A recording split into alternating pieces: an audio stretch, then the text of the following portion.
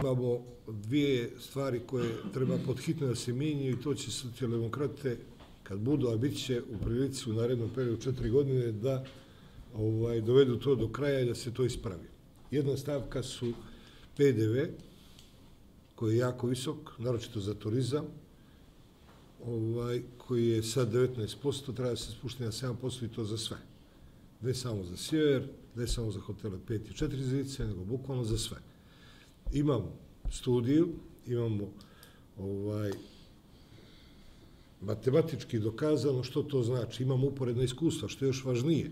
Francusku, Hrvatsku, Italiju, koji su to isto radili u prethodnom periodu.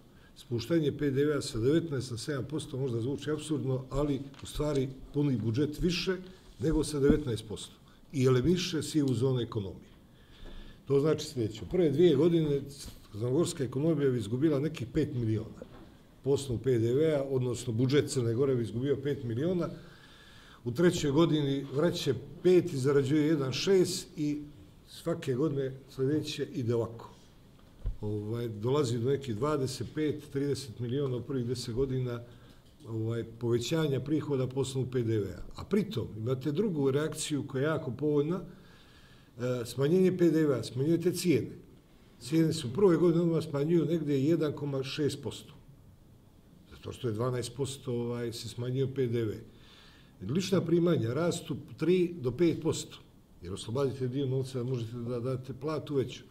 I treća stvar, s obzirom da cijene idu dolje, povećava se potrošnje. To se povećava na 3.2%. To su uporedne iskustva kod drugih.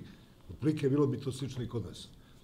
E, socijaldemokrati će u narednom periodu kod vlade Crne Gore da insistiraju da se ovo dovede do kraja da se to uradi, jer da su to mogli drugi, zašto ne bismo i mi.